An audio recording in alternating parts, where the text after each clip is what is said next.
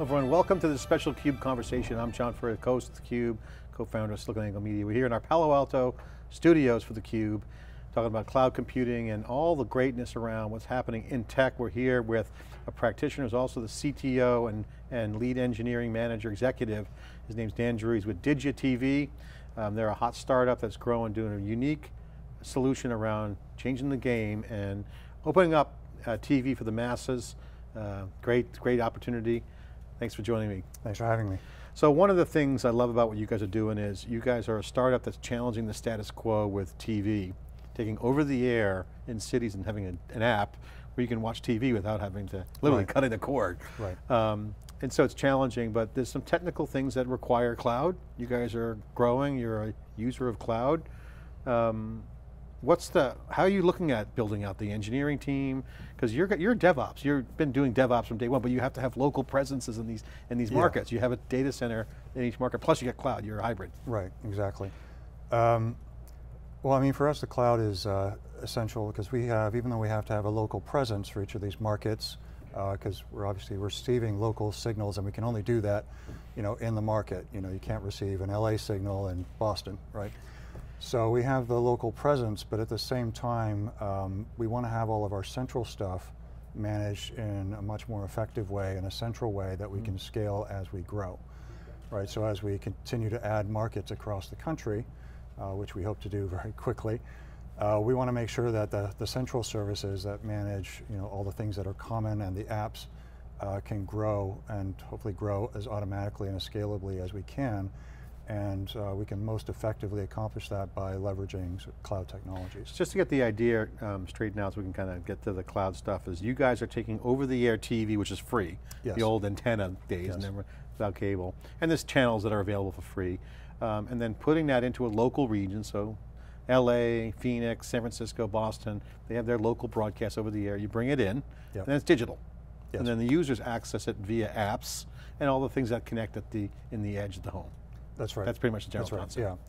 Yeah. Uh, so basically what we do is we allow you to get all those things without having to worry about an antenna on your house or if you're yeah. mobile or you know, whatever. So like a lot of people these days might just get a Roku and not want to worry about a physical antenna or whether you're pointing in the right direction or whether there's some other house in the way. Um, and so we allow them to get the over-the-air channels at high quality no matter where they are without having to worry about sort yeah. of the antenna part of the problem. It's a great mission, I love it. The, it's ambitious, a lot of moving parts. You have content, you got transmission, but it really opens up freedom for people, whole new demographics, yeah. great stuff. So, so okay, now how do you make this happen? You got to go deploy cloud, so you obviously want to use the most efficient. You guys are lean and mean, you don't have a huge IT staff, it's you and a, a couple of people, yes. basically you. Uh, we have a two person ops staff and, and me and some engineers. Uh, but yeah, we're pretty lean. Yeah, there's not going to be a big data center in the future given what you guys got, but you've been successful with the cloud. Take us through how you guys laid this out, with cloud and with the hybrid solution, what are some of the things that you've implemented? What's the architecture? How does it, how does it work? Um, well, as you can imagine, a lot of our problem is managing sort of network architecture.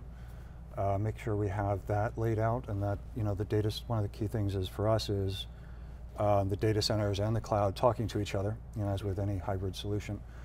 Um, so we spend a lot of time um, with automation.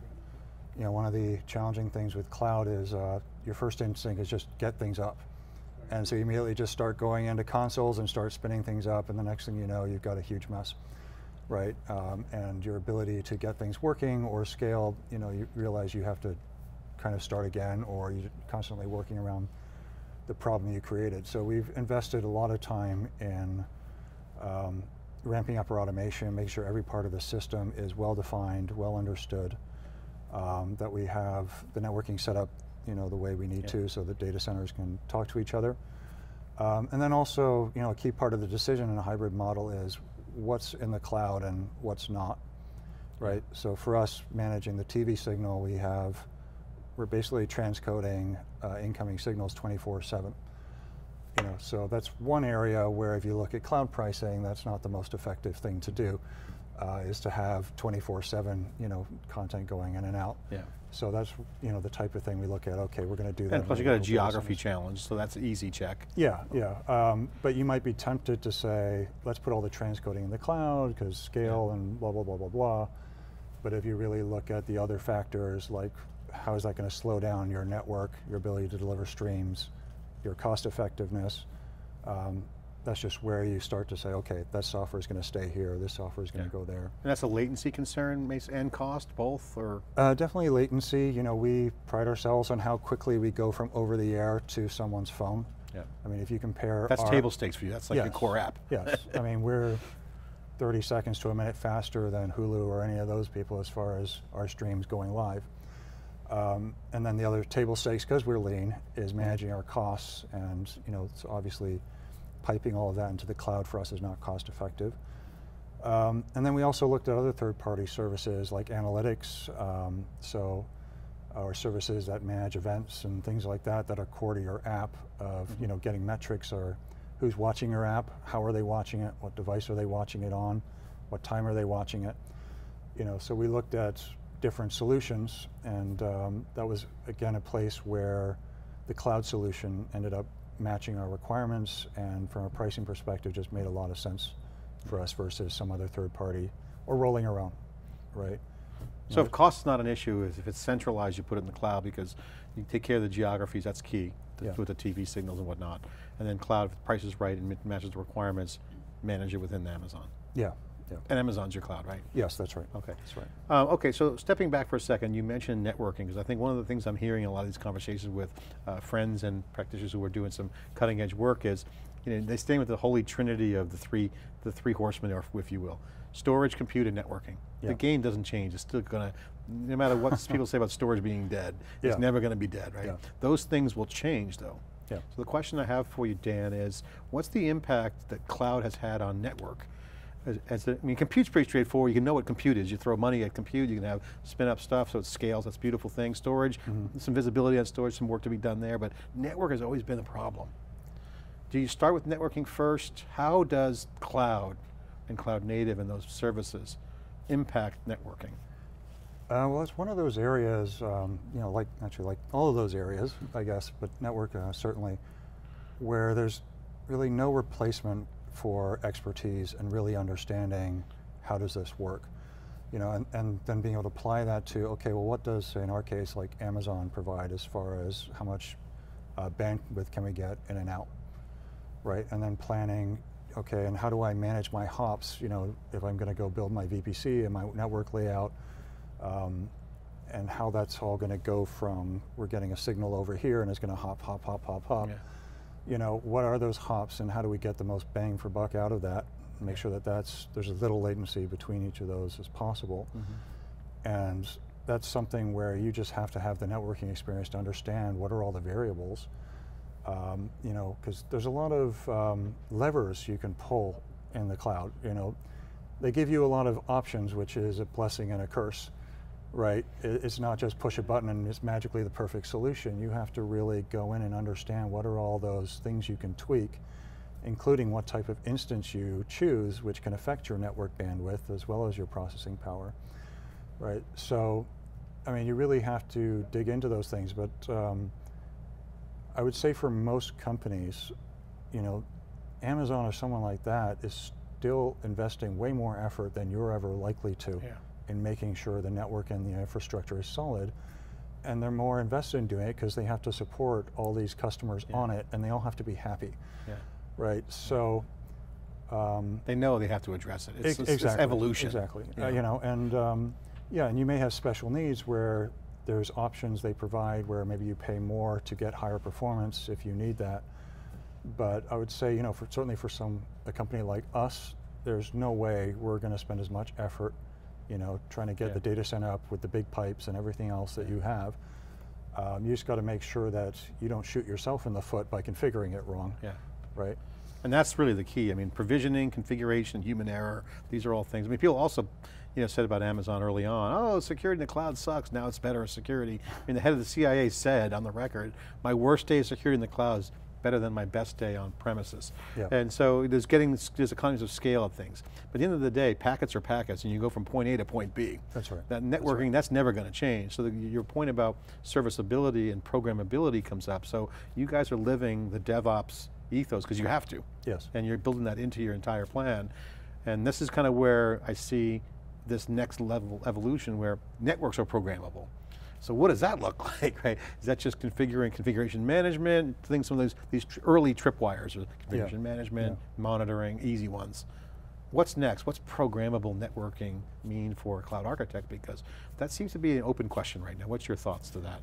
Um, I mean, if you're talking about a system like Amazon, or I assume like Azure or Google, I mean, a lot of that is there. I mean, where you see like the security issues, for example, or, you know, is where people didn't really make the effort to understand how to lock that down or they couldn't figure it out, things weren't working, they said, all right, open the world, whatever. You know, but if you look at like managing security groups, we spend a lot of time managing security groups, who can talk to who. You know, make sure only the people that can talk to each other are supposed to talk to each other. Um, and, and that's really where I think a system like Amazon will again do that better than you can without a lot of effort, which is they sort of boil it down to just say this person can talk to this person on this port yeah. and we'll do the rest. You know, we'll manage firewalls and make sure they, yeah. the, you know, the ports can talk to each other, whatever. But you just have to tell us they can, and we'll worry about what happens underneath, right? And so I think you get a lot of that already. Mm -hmm. You know, you just have, to, again, it's one of those things where you can shoot yourself in the foot. Uh, you can bang your head against the wall a lot of why can't these things talk to each other. Um, but at the end of the day, I'd rather they couldn't talk to each other than um, it was too open or, right. It's interesting, you know, you look at like um, the networking thing, at the end of the day, if you make it programmable, it just has to work, right? And yeah. I think that brings up you know, the trade-offs operationally, and as you guys grow your operation, what are some of the operational factors that you, when you look at you know, the dots you're connecting with your business as you guys grow um, on operations? Is it trade-off of cost and performance? Because obviously you have performance issues on the app, because mm -hmm. you're mm-hmm. streaming to the TV, but you mentioned yeah. costs. How are you balancing those trade-offs, and what do you look for um, operationally to, to, to, evaluate the trade-off? Um, I think a lot of time it comes from what do we want our core competencies to be? You know, is it worth it for us to build this ourselves or develop that skill set? Uh, and then you trade that off of um, what would it cost us to build it ourselves or use Amazon solution or use some other third party solution, right? Um, and then it really comes down to, even if that's more expensive, do we really want to build it ourselves, even though that might be cheaper? Is mm. that really worth it to us? Yeah. Right? Uh, it's not a core competency, and if you can get it out in the web, why not? Yeah, so for example, you know, what's in our data centers, our transcoding stack, all of that, yes, we do that ourselves. We don't use Amazon's transcoders, all of that, because that's just key to our business, and it's important that we manage that very tightly and it does what we want. And it's also just much more cost effective because of what we're doing. We're not just yeah. transcoding a code. It's your competitive advantage. That's yes, what you guys exactly. are banking on as IP. Exactly. Uh, but managing the network infrastructure, no. Um, you know, spinning up Docker containers, yeah. no. You know, we're happy to shelve that off to Amazon and just, you know. I was talking to a network buddy the other day and he's like, John, what's the big thing with cloud? What's, what's in it for me? I go, yeah. here's, the, here's the modernization of, of cloud. You're a command line guy. Command line interface is over. Because if you want to go cloud, you're going, to, you're going to be dashboard driven. You're going to be looking at a much more operator role, less of a go in and go do more command line interface, configure these switches, do these things. It kind of connect the dots for him. And he goes, okay, then his next question, which I'll ask you is, um, he goes, how do you evaluate cloud service provi cloud providers? I mean, what, what's the criteria? Um, because Amazon's got the most services, yes. they've been around the longest, but Google's got great AI, and Azure's got Azure stuff. So I mean, yeah, I'm trying to find some some some strengths there. But yeah. Uh, they got Microsoft Office, okay, and some other things. Um, but what? How would you evaluate if you're going to go back to if you had a, a bank off again today? Yeah. How would you advise friends to, in terms of what to look for in a cloud provider?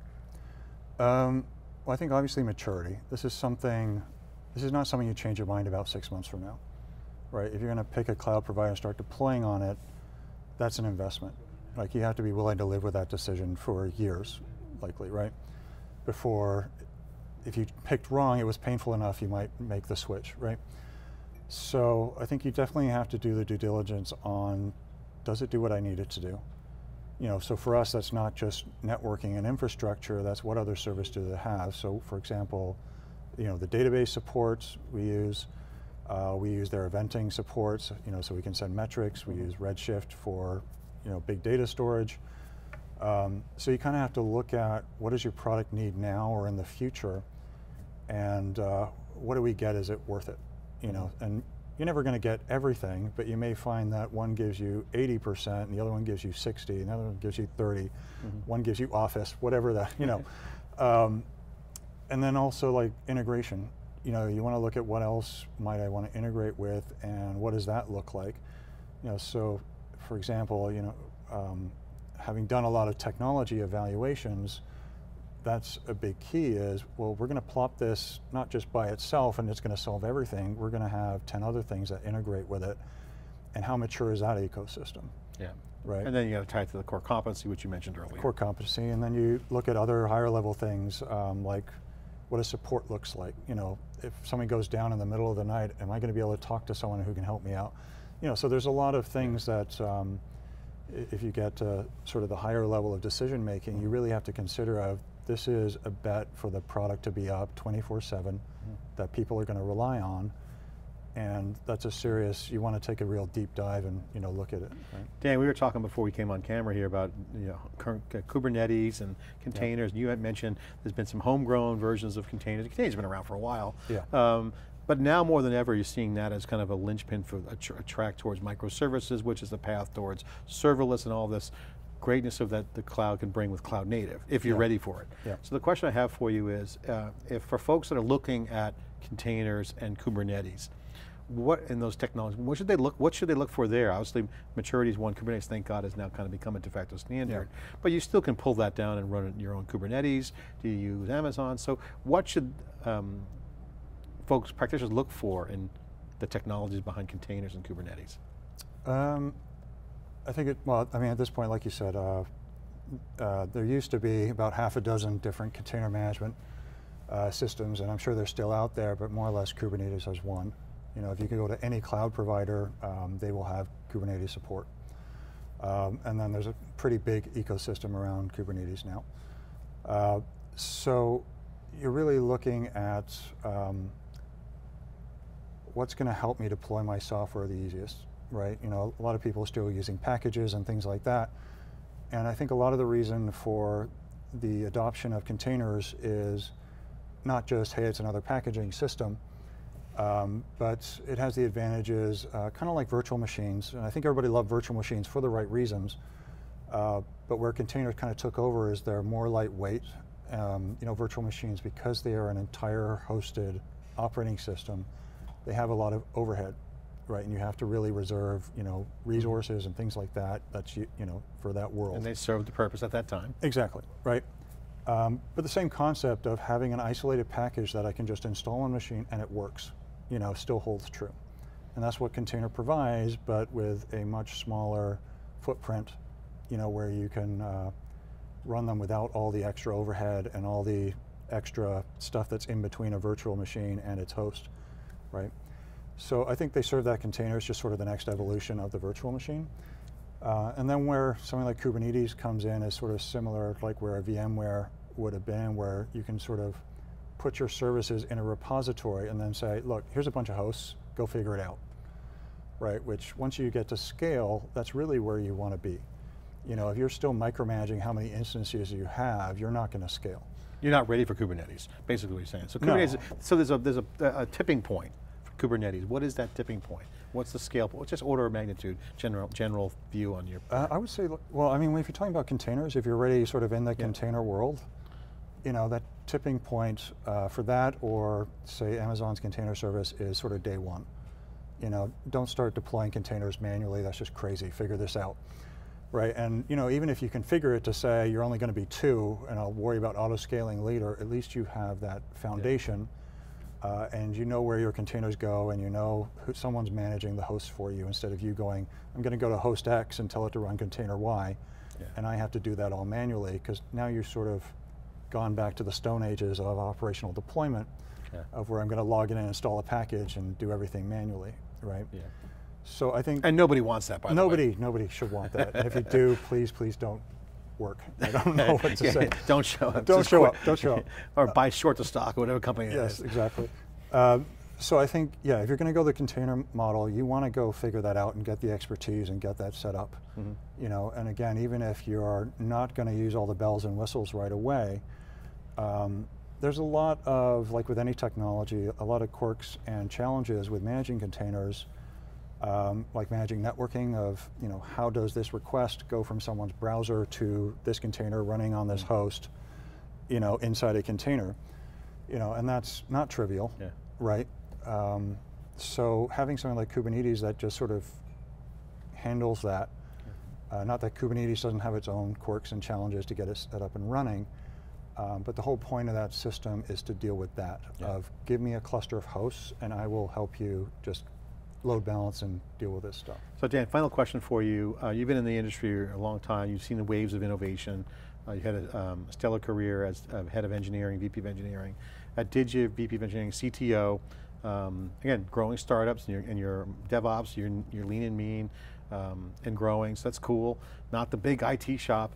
Um, but as the world changes, what are you most excited about now? Because you've seen the movie before. You've seen the old days, you saw the transition, you're seeing what cloud is bringing, obviously you're, you're on top of it here. Um, what's exciting about this time right now? What are you excited about? Um, well, I think what's exciting is that you're seeing a lot more technologies that enable companies to scale and grow, right? Because, I mean, the hardest thing any company, like once you get past, geez, even like 30, 50 people, you know, if your company's that getting that big, um, you start to see people, the technology start to trip over, right? Uh, you really start to see the issues of, oh crap, we got a spike and the whole service went down, or whatever that is, or a database fell over. You know, and so the fact that it's much easier and less effort to access technologies that allow you to scale. Granted, you have to make the effort to Mhm. Learn how to use them, but the fact that they exist versus go roll your own of everything, I think is exciting. Um, and I think, you know, on the same, uh, on the same track, you know, the availability of these uh, scalable data stores like Aurora or Redshift or whatever, um, where you used to, again, just have to figure that out yourself. And I mean, storage is the biggest pain for scaling. That's the first thing that dies horribly, right? So just the fact that things like those are available and managed for you, you know, um, I think will help make a lot of companies be successful where, you know, three, four, five years ago, that wasn't available. You know, and you would have had to figure it out yourself and just fallen over. And you know, the upshot too is, you know, when, you, when you're building all, the when you're a builder like yourself, when you're building stuff and deploying, you can do more with 20 people on a team. Oh yeah. I mean, yeah. just think about the productivity. yeah. I mean, think about what you do with 20 now with cloud that you'd have to ramp up to and fundraise for. You know, build out the data center, get the QA department, get the engineering. I mean, massive amounts of overhead Oh, and time loss. Well, you don't need three DBAs anymore, right? Um, so absolutely, you know, what we can do with, you know, a 10-person team today is, you know, massive, you know, compared to what we could do five years ago, so. All right, Dan Drew, CTO, uh, Executive Vice President of Engineering at a company called Didja, D-I-D-J-A TV. Check them out. Hot startup doing a really amazing mission, trying to bring uh, over-the-air TV to local communities on an app with programming. Certainly, guys, if any, any CUBE content you want, feel free to use all of our free content. Uh, happy to, to donate the CUBE content to the Didja mission. Thanks for coming on, appreciate Thank it. you. Okay, Dan Drew here inside theCUBE. I'm John Furrier with a CUBE conversation here in our Palo Alto studios for theCUBE. Thanks for watching.